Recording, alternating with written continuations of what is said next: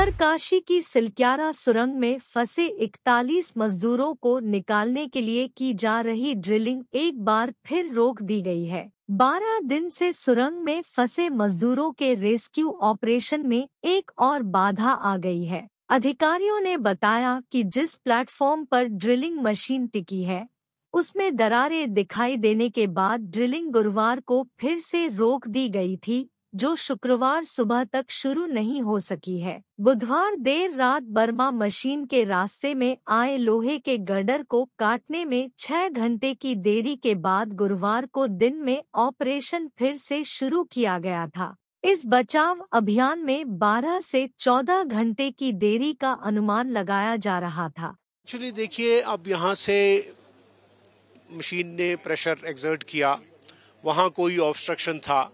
दोनों के आपस के फ्रिक्शन की वजह से पाइप पर जो प्रेशर पड़ा, उससे पाइप थोड़ा सा स्क्वीज हो गया। तो उसके मुँह को अगर हम ठीक नहीं करेंगे या मुँह को गोल वापस नहीं लाएँगे हमें फर्दर पुशिंग में फिर प्रॉब्लम आ सकती है।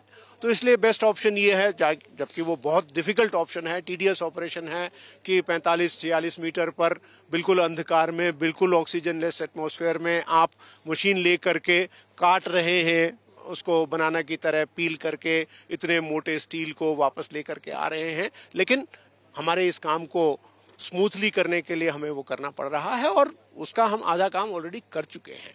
गुरुवार को दिन में दोबारा ड्रिलिंग शुरू हुई और एक दशमलव आठ मीटर ड्रिलिंग के बाद एक और बाधा आ गई। अधिकारियों का कहना है कि अब तक 48 मीटर तक ड्रिलिंग हो चुकी है।